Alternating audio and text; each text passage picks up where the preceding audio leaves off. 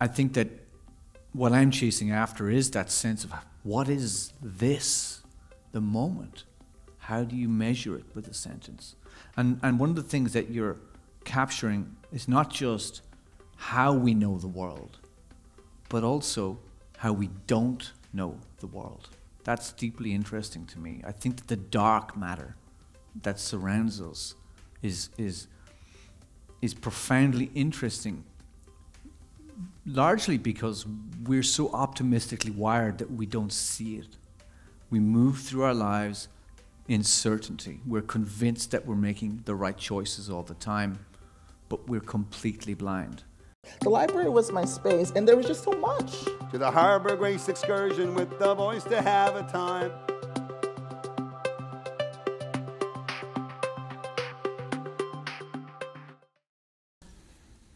As a reader, um, this is such a captivating book to read. I had, going into it, I had all sorts of worries about what was going on in the world, anxieties, um, questions about what's happening south, what's happening in Ontario.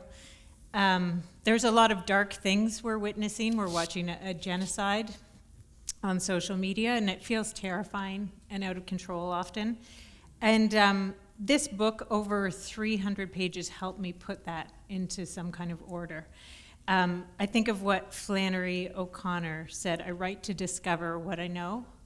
And with this book, I thought I'm reading to discover what I know. Um, it helped my thoughts cohere.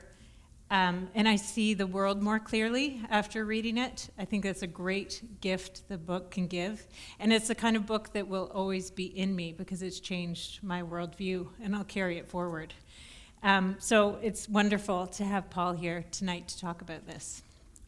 Um, Can I just say that anybody who quotes Flannery O'Connor, that makes me feel very comfortable. I know that I'm in great hands.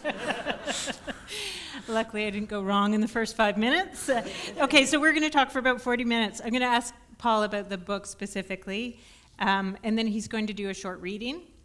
Um, and then I'm going to talk about his writing life, ask him some questions about that and about Irish literature specifically. Um, and then the last 10 minutes we'll have questions. So, without further ado, um, okay, Paul, I actually love this book so much. I don't care that it won the Booker that much. Like it, it sort of it transcends that for me. But okay. I did watch your speech this morning, um, and you said this was not an easy book to write. Yeah. And so I would love to hear about that moment, which I can, having read it, I understand that. But I'd love you to talk us through the when you first sat down to, to write, write this book. book. Yeah. There like was first words you were typing. Yeah, I mean, there's, there's a preamble to the first few words. Okay, I want to hear it. There's a six-month preamble. Okay. Which which is the story of writing the wrong novel. Oh. And so I was writing the wrong book for six months, and I knew it. I knew it. But every day I'd turn up and I kept chipping away and tunneling through granite and just hitting hard rock. what do you mean the wrong book? It felt wrong? It felt wrong because I have, I have this, this thing that I look for as a novelist. I'm, I'm looking for a vehicle that can move like a story, but also contain my obsessions. And my obsessions are things that I'm, I want to understand. They're the things that I'm asking questions about, things that I'm trying to unpack from the universe okay. around us. And so I'm looking for a story that has something in it that just moves of its own accord, but I know that it's going to take on a great degree of complexity. Okay. And so I had this opening sentence for, for, for, for some time, and I loved it. You know, they say murder your darling, so this opening sentence, I just loved it very dearly. And it's now buried inside this book. Um, it's hiding somewhere inside. Will you tell us what it is? I might, I might, I, would have to find it because okay. I, yeah, I, am so tired now. I can't, I can't, I can't just pull it. Um, yeah. Um, I think I know where it is though. Well, I'll, I'll see if I can find it while, while, while I'm chatting. But um, uh, where was I? Uh, so you were writing the wrong book, and it's six. So, months. so I was, I had this, I had this sentence, and I kept coming at it, and I'd start, and I, and I had this character, and I was writing into a setting that was very unusual. And I, essentially, what I was doing is writing something out that needed to be, to be got out of me. It was, it was not a Paul Lynch book, because all my books, if, if you know my writing, there's a consistency to what I do. At least I think there is. And even mm-hmm. though I think all the books are different, I think ultimately, deep down under the hood, they're the same. They're chasing the same things, they're asking the same questions, they're, they're going after kind of these essential metaphysical questions. But this book that I was running was the wrong book. And it was a Friday, and it was the afternoon, and I just thought, stop. And, you know, Colm Tóibín once advised, finish everything you start. And I thought, no, Colm, sorry, I'm done with this. And it, this is the thing that, that I find so fascinating as a novelist is I trusted that there was something else there. I had a sense that something just back there was lurking. And, and we do this. It's the same for you, no doubt, that you, you live right up against the subconscious as an artist and you're tuning into that. And the door, that door to the dark, it's open sometimes, or, or it's half open, and you learn to trust that it's open. And I just had this intuition that there was something there. So I said, okay, I'm going to do nothing this weekend, nothing at all. I'm not going to stress out about the fact that I've just wasted six months of my. Because writing is expensive, right? You're sitting, it's time. Time costs money. And I thought, "Ah, I'm not going to worry about it. I'm going to turn up on Monday morning and see what happens. And I turned up on Monday morning. I created a new page and I just waited. And then I wrote the opening of the book and I wrote the first page, close to almost, almost identical to how, how it is now. And it just came from back there. And it had, it had, it had, it had, it had the magic.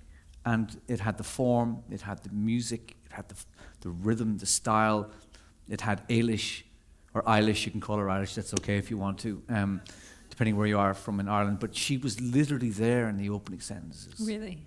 and I and I I knew immediately that I had something. It had that charge, you know, that just that hidden charge, and and what's interesting, I realized later on because I did not know what I was doing. I had no, I truly no idea what kind of book I was going to write, but I look back from now and I can see that in the opening sentences, the meaning of the book is symbolically encoded in the opening lines.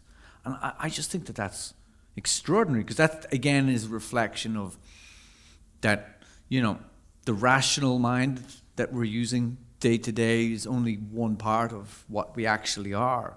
And that artists are tuning into the aspects of mind that are that are hidden from view but are just as powerful just mm-hmm. as just as present all the time and sometimes these these asp- this aspect of mind knows more about what you're doing than you know consciously and I've learned this again and again and again that I I don't know what I'm doing but it knows what it's doing it knows what I'm doing and I'm just listening and I follow um, and that's part of the sort of the wonder isn't it of writing um, well, I find that sentence. Let's see if I can find it. It's interesting because I went back and read the first chapter, and I was amazed at how everything's there. You know, it's one of those books. If you go back and start again, you see it. Hold on now. That's an amazing story. Sorry, I'm going to Um, drag this out yeah, for a second. we'll give. You asked me to do something, and I I. I like the idea of it, but it's like I have to. Gosh, where is it? Well, because I am Yeah, curious I'll about it. Yeah. Often a sentence is one sentence can set the whole tone. Okay. I have it. This is the secret sentence that was the, The start of the false sentence. book, Okay. right? So you have it here in Toronto. It's an exclusive. nobody, nobody knows this. Eilish is on the beach and it's Christmas Day, um, and so the, it, it's it, it begins with this. But I'll, I'll I'll go back a couple of words. Watching the light upon the beach, thinking, this time of light, how the days pass by, gathering the light and releasing light into night, and we reach but cannot touch nor take what passes, what seems to pass, time's dream. I like that as an opening, right? good sentence. But it was it wasn't working. Sorry. so I stuck it into the book. Just that, that was that Just was to have that it. was to make me, you know, make me just. So I, I didn't want to lose that one. That's a lovely sentence. I actually remember it struck me when I read it. So you you had this first section you'd written, um, but the book I think is so successful because of the main character. Yeah. So she came to you right away, or how consciously did you shape her? She was there. She was there right from the start, and I, I- didn't quite know who she was. And I sometimes think of it as like sculpture that that that she's eh, the shape is there. She's underneath. I just had to chip away at her, and you know the way that I write is close to third person most of the time, and so present tense. So that allows me to narrate a story, but it allows me to narrate a story really only from the point of view of Eilish. So the, the, the, the language gets right up alongside her. It's right alongside. We're with her. We're with her consciousness. Mm-hmm. You know, her, her, the- her, her, as, as uh, the sentences literally shape themselves around her consciousness, but they also tell the story at the same time. And she just, she just, she just took hold. She just blossomed, and seems to me that she's, she seems extraordinary to me. I mean, I felt that I, that I was in the presence of this extraordinary woman who was going to do something that was sort of impossible, you know, and she's navigating the, this labyrinth, this, this world, as you said, that's unraveling. Because it is an unraveling. You know, the book begins in, in the known world. It's Dublin. It's Dublin that seems now ish. You know, I don't say when it is. Some people think it's set in the future. Some people think it's counterfactual. It can be both at the same time. Um, and I don't say, but yet it's a world that I recognize. It's a world that I know. It's the Dublin that I'm in all the time. And it's also the world that we all know as a liberal democracy, as this thing that we're all conditioned to believe will continue to last forever. And so this is the opening of the book. And Eilish encounters two officers from the GNSB at her front door the Garda National Services Bureau, and they're from Ireland's secret police. And Ireland does not have a secret police, and up in, in this book, they did not have it until very recently. And so what's happened is that Ireland has elected a populist government, and that government, for reasons that are not made clear, has uh, initiated emergency powers, which has given them the power to do things that that, that, that, that it, it, it- it's, it's, it's, it's the point at which their grip on, on, on, on society changes. And so the democratic norms are beginning to slide, and, and, and the media's been curbed, and, but nobody really believes that the change is occurring. I, I've noticed this myself. I watch the news, and I, I'm looking at countries that I assume are just going to remain as they are. Like they're, they're, they're benchmark countries, and I see something happening, a piece of legislation, and I say to myself, "Oh, but that's not. It's not going to be allowed to happen. It's not going to happen there." And I do it all the time. Then I catch myself, and it's like, "Well, it is happening. Mm-hmm. It's happening now. It's unpicked as we speak." And this is the problem. In at the start of the book is that nobody quite believes it, and that you know, the refrain, this can't be allowed to happen, is this sort of general consciousness in, of Eilish and her husband Larry. But things take a turn and the unravelling continues. And Larry is disappeared. He's taken in, he works for the Teachers Union of Ireland, he's a trade unionist. And again, that's, that's, that's a strange thing because, you know, in a liberal democracy, the right to march is fundamental. This is what we do. We're allowed to march. Um, and Larry's taken in, and he's asked by the GNSB to prove that his behaviour as the deputy leader of the TUI, as somebody who's organising an upcoming march, is not seditious towards the state. So that's a counterintuitive thing to be. To prove, you can't prove it. Um, Can't prove it, You yeah. can't prove it, and so that's that's the start of the trouble. He, um, the the dad, Yeah. Eilish's dad, says um, they're trying to change what you and I call reality. Yes. Yeah, this is Simon is this he's a scientist. Um, he It's a wonderful character. he's sliding slowly into dementia. He's elderly, but he has these moments of pristine lucidity. And at one point, he says to Eilish, you know, he, he says, You've taken the degree. We've both taken the degree. You understand, as a scientist, what reality actually is. But they're trying to muddy reality. And, and he said, First, you take charge of the institutions. And then, when you take charge of the institutions, you can change the narrative. And when you take control of the narrative, then you're changing the facts. At which point, you're muddying reality. And it, it, it's tapping into this post truth world that we're in now. We're, we're seeing the same thing happening. And the book is, is holding a mirror up to that question of, well, if, if post truth, which is, is startlingly real, where might that lead us? Mm-hmm. Because if we can't, if, if, if, if, if we can no longer agree on what's real, if, if the consensus reality we used to, we used to have different politics, but there was a consensus about what reality actually was. And that seems to be gone now, and people literally seem to inhabit different universes. So, where's that going to lead us? Um, so maybe that's one of the questions I think that's happening in this book. I think that it's um, because, well, Eilish has introduced um, the world is always ending over and over. It comes to your town, it knocks on your door. Yeah. And it's, so you, you, you start with the, you can feel the, the knuckles on the front door, and then I think it's such a, a brilliant arc for her because you slide with her. Yeah. And and as I was saying at the beginning, it's been helpful for me moving through the world, and because um, you can, after you read it, you can locate yourself where you are on her.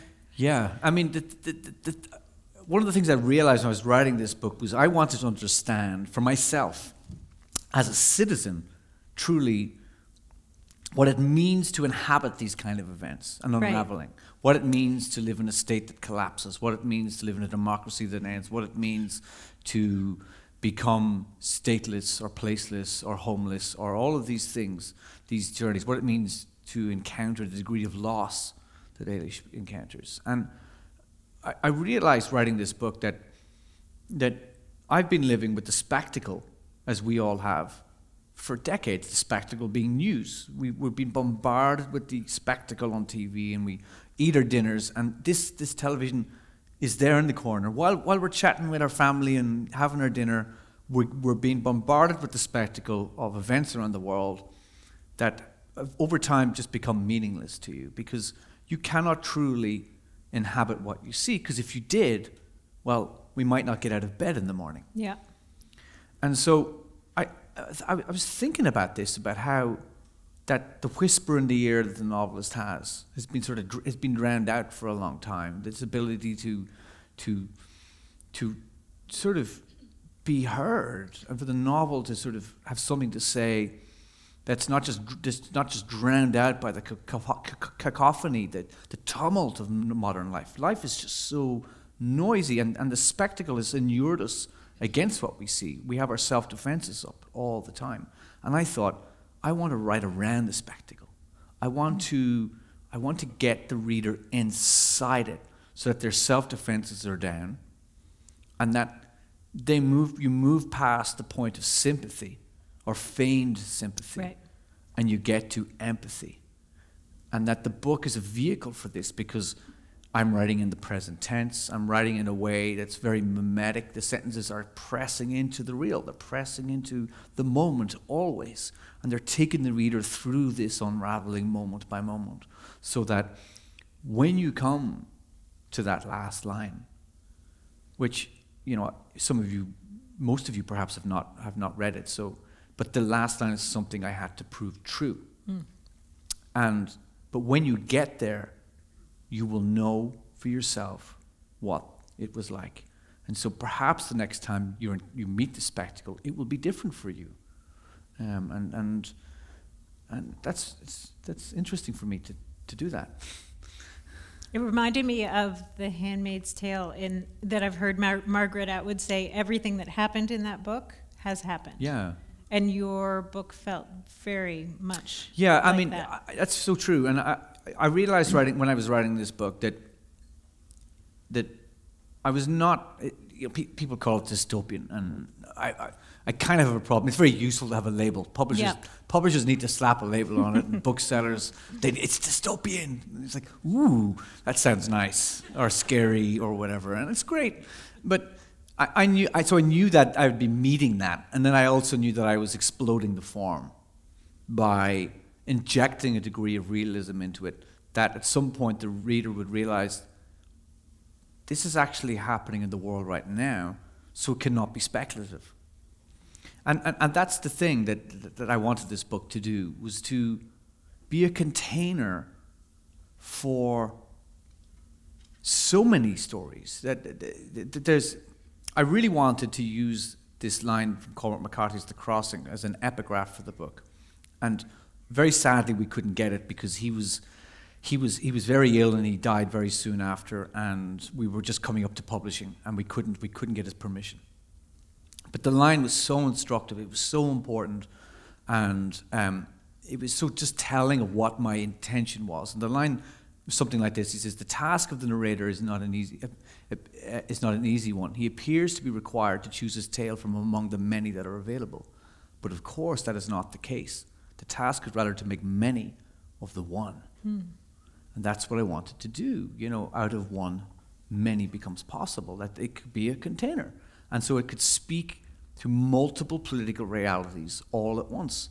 And so this is the thing that I'm hearing back from readers now and people I meet. They're saying, you know, I, I'm, I, on my travels, I meet people from all over, and I met somebody in London who, a Ukrainian refugee, and she said, you, you, You've told our story. And mm-hmm. the next night, I was, at the, was at the Southbank Centre, and, and a, a a lady from Palestine said, you, you've, you're, you're, you're, you're telling our story. And it's, that's the amazing thing for me that I think that when you can do that, when you can get, it's the goal. It's, it's, if you can get down to a single narrative that can contain multiple narratives, you're getting closer and closer to myth. And the, cl- the closer you get to myth, the more freight your story can hold. And that was my goal. That was my crazy intention. And I like that idea I, I, of just trying to get something down to some sort of fundamental essence. Um, so it gets me out of bed. Do you want to read now? Sure. Is it a good yeah, time? Okay, it's a good time. We have a lectern. Nice. I'll. Okay, I'll just read from the opening. Um, give you a sense of what this book's about. The night has come, and she has not heard the knocking. Standing at the window, looking out onto the garden, how the dark gathers without sound the cherry trees. It gathers the last of the leaves, and the leaves do not resist the dark, but accept the dark in whisper. Tired now, the day almost behind her, all that still has to be done before bed, and the children settled in the living room, this feeling of rest for a moment by the glass. Watching the darkening garden and the wish to be at one with this darkness to step outside and lie down with it, to lie with the fallen leaves and let the night pass over, to wake then with the dawn and rise renewed with the morning come. But the knocking. She hears it pass into thought, the sharp, insistent rapping, each knock possessed so fully of the knocker, she begins to frown. Then Bailey, too, is knocking on the glass door to the kitchen. He calls out to her, Ma'am, pointing to the hallway without lifting his eyes from the screen. Eilish, Eilish finds her body moving towards the hall with the baby in her arms. She opens the front door, and two men are standing before the porch glass, almost faceless in the dark. She turns on the porch light, and the men are known in an instant from how they are stood. The night cold air suspiring, it seems, as she slides open the patio door. The suburban quiet, the rain falling almost unspoken onto St. Lawrence Street, upon the black car parked in front of the house. How the men seem to carry the feeling of the night. She watches them from within her own protective feeling. The young man on the left is asking if her husband is home, and there is something in the way he looks at her the remote yet scrutinizing eyes that make it seem as though he is trying to seize hold of something within her. In a blink, she has sought up and down the street, seeing a lone walker with a dog under an umbrella, the willows nodding to the rain, the strubbings of a large TV screen in the Zajic's house across the street. She checks herself then, almost laughing, this universal reflex of guilt when the police call to your door.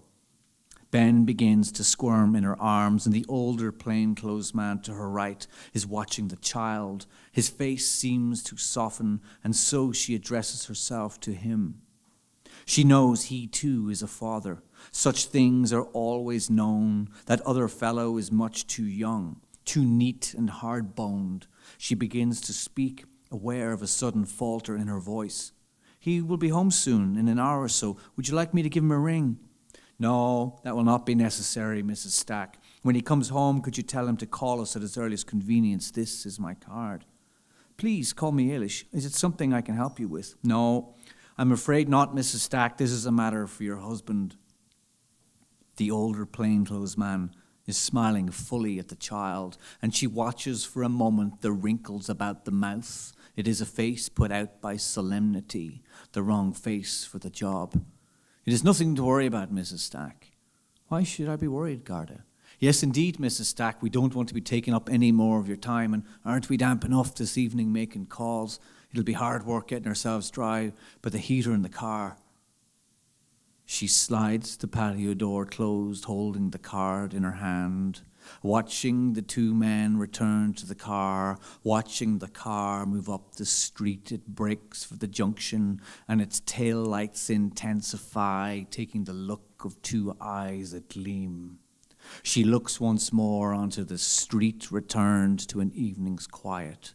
The heat from the hall as she steps inside and shuts the front door, and then she stands a moment examining the card and finds she has been holding her breath. This feeling now that something has come into the house. She wants to put the baby down. She wants to stand and think, seeing how it stood with the two men and came into the hallway of its own accord, something formless yet felt. She can sense it skulking alongside her as she steps through the living room past the children. Molly is holding the remote control over Bailey's head, his hands flapping in the air. He turns towards her with a pleading look. Ma'am, tell her to put my show back on. Eilish closes the kitchen door and places the child in the rocker, begins to clear from the table her laptop and diary, but stops and closes her eyes. This feeling that came into the house has followed. She looks to her phone and picks it up, her hand hesitating. She sends Larry a message, finds herself again by the window watching outside. The darkening garden, not to be wished upon now, for something of that darkness has come into the house.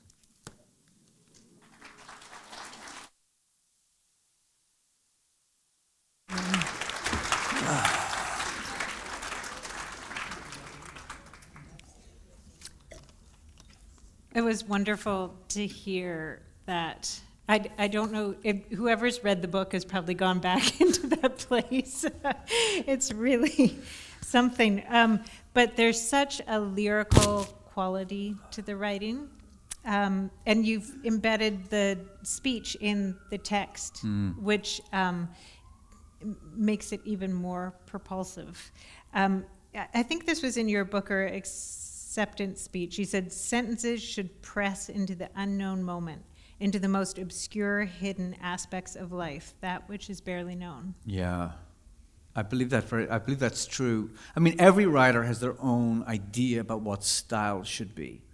Every writer is chasing after something that's unique to them. For me, I think that the sentence should be a way of meeting the moment of life in its unfolding. And that's a way of encountering the full complexity of life. Mm. And so I think back to the classic past tense objective realism of Flaubert, which has been the default fiction for 150 odd years, and I love reading that, but I'm I'm not interested in writing in that sort of de- detached, objective past tense. I think that what I'm chasing after is that sense of what is this, the moment. How do you measure it with a sentence? And and one of the things that you're capturing is not just how we know the world, but also how we don't know the world. That's deeply interesting to me. I think that the dark matter that surrounds us is, is, is profoundly interesting, largely because we're so optimistically wired that we don't see it. We move through our lives in certainty. We're convinced that we're making the right choices all the time, but we're completely blind. And it, was, I think both Woolf and Faulkner, and maybe Faulkner borrowed it from Woolf, had the image of the match strike in the dark. And we're just holding up a little flame in this darkness. And I'm forever astounded by the truth of that. And I think that fiction should be that flame in the dark. But it should also remind us of the dark, of the truth of the dark, and what we can't know. And so there is a sort of ontological inquiry in my writing. There is this sense of Eilish in these sentences measuring what can be known, what cannot be known, how do we know the world. And this is, you know, in a certain kind of way, it goes back to the Greeks, it goes back to that idea, you know, of Oedipus, of human blindness.